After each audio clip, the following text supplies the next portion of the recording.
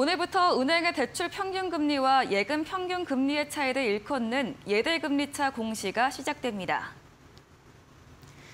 이번 조치는 금융당국이 윤석열 대통령의 대선 공약 이행을 위해 지난달 발표한 금리정보 공시제도 개선 방안에 따른 것으로 은행별 예대금리차는 은행연합회 홈페이지를 통해 확인할 수 있습니다. 금융당국은 소비자 권익을 보호하고 은행 간 금리 경쟁이 촉진될 것이라고 밝혔습니다.